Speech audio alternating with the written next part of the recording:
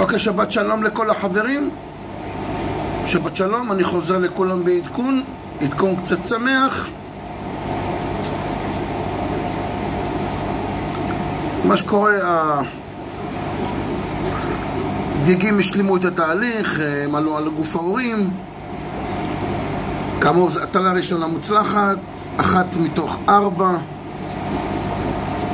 וזה לא מובן מאליו.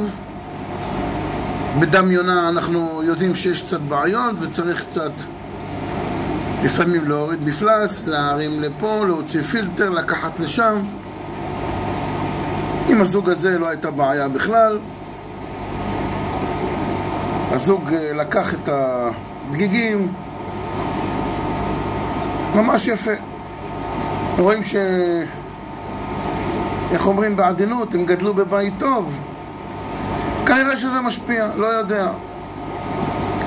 בסך הכל מה שאנחנו נראה פה זה סגירת מעגל, דגים בני שנה ושלושה חודשים שנולדו פה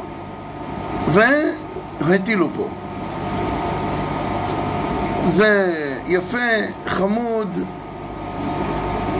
משמח את הלב, ממש יפה. קצת קשה לראות את הדגיגים, כי הדגים הם מאוד uh, לבנים, וגם הדגיגים ממש לבנים. אבל לבעלי העין החדה לא תהיה בעיה כלל לראות.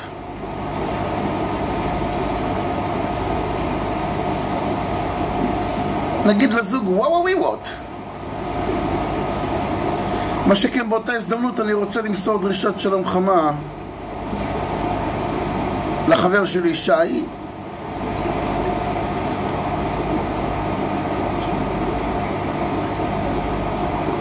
הנה, בבקשה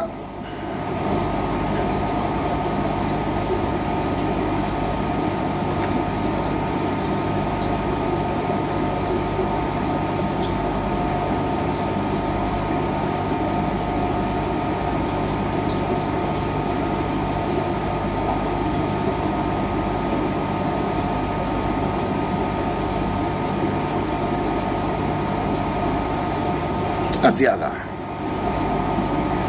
שיהיה לנו בריאות, עושר, שמחה, אהבה, אחווה, ברכות, ישועות, מזלות, הצלחות, הטבות. ווואו וואו.